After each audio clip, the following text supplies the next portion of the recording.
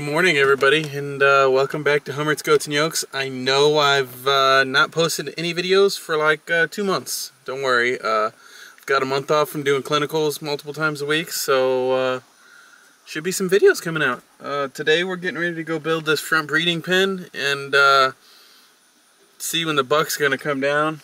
The buck will probably come down later August, early September, sometime like that to get everybody bred. Uh, we're only breeding Nellie, Bella, Mia, and uh, Sadie. Little Bit's not getting bred anymore because uh, she had a that C-section a couple years ago. She's got a lot of scar tissue, so I don't know if I want to risk it. And uh, Dory is not old enough, so uh, yeah, that's what we're getting done today. And then uh, gonna go down and help Arden put uh, Hanel off tonight. He's baling squirrel barrels probably as we speak now, so gonna go down tonight when it cools down a little bit and put the hay away because it's it's pretty hot, guys. It's already, I think, 91 or 92 degrees right now, and it's just supposed to get hotter from there. And the heat index is uh, crazy high for today, so we're to take her easy and uh, probably not work on fence too long. It starts to get too hot, we're to have to go inside because uh, it's not worth getting hurt or dying over, so... Everybody's got nice cold fresh water this morning, so they should all be fine for the day of the heat. The goats are smart, they'll go lay down in the shade, and uh, the chickens and the ducks do the same thing. So we're gonna see what all goes on today. Uh, the garden, oh, I had to transplant some cucumbers and stuff, and they didn't make it. So right now it's just uh, zucchini and pumpkins. Right now we got some tomatoes that are green that need to change colors, but other than that, the garden just isn't uh, isn't that good this year, and uh, it happens. I really haven't been home to take care of it. Mom and Dad have been busy, so you know, some years it's good, some years it's not. So, uh, yeah, hopefully next year we'll do way better. And uh, so we're to go from there. Uh, start Get started on this fence. Alright guys, so this is the front area that we're to get fenced in. I think I'm to work on the gate this morning and try to get the gate put in. The gate's to go right here. And uh, so that way we can back trailers in there for stock and stuff like that. Because when the uh, buck comes up here, uh, it's easier than going through two gates over there to just put him through one gate here and it's going to make it easier in the long run for other stuff. So we're going to go ahead and do that and uh, that's what we're going to do. I'll set you guys up and you can uh, watch.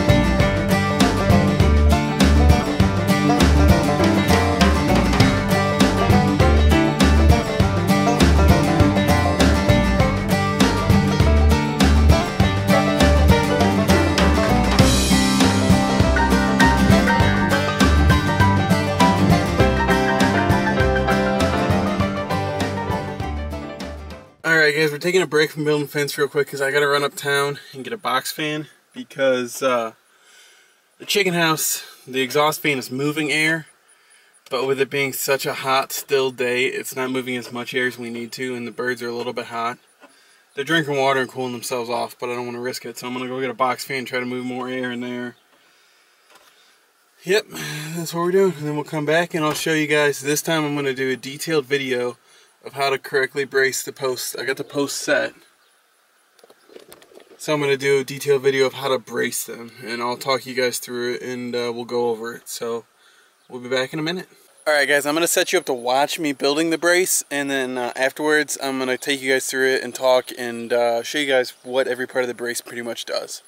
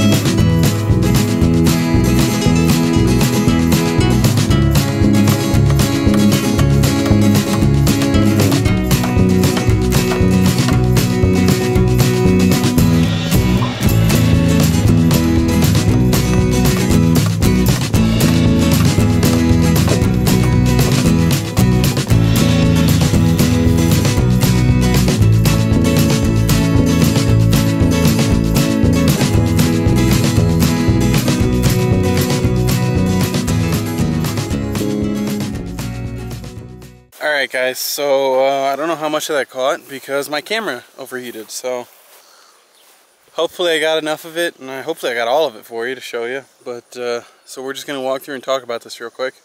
So the post in the middle, that's that's pretty obvious, that's the brace post to uh, keep the post equal space that we when the ground settles and everything, and uh, keep it from moving anywhere. So the wire that we've got here, that wire What it does is uh, it keeps tension on this post over here. And uh, the reason, sorry about the wind, the reason that we want tension on this post right here, on the top of this post, is because we're going to have a gate here. So we want tension on the top of this post because the bottom is being supported by the ground. So obviously we want tension on the top of the post so the top of the post doesn't move that way. So we've got tension going that way along the post. So that's uh, that's what the brace is for. In the twists that we put in the wire, that's to tension the wire. And the nice part about that is, is I can come back later, and if it starts to get loose or anything, and I can go ahead and tighten that up. So that's uh, that's how to brace a post, guys. That's uh, the easy and simple way that I was taught. So uh, yeah, nothing to it. Alright guys, so what I'm getting done now is getting this gate hung. Uh, I'm not going to get these other two posts done today because I have to go help uh, Arden put up hay this evening. So uh, we're gonna get the gate hung. I got the bottom hinge already in, but I'm gonna show you guys how to kind of line this up what you're gonna do is you're gonna put that bottom hinge in. Normally I just set the side of the gate on top of my boot and there's enough spacing there for swing purposes. And then uh, you get you a lovely nice little magnetic level here and you get it leveled up. Okay? And then you're gonna mark where your uh, top hinge goes up there. And it's that simple guys. So uh, I'll set you guys up.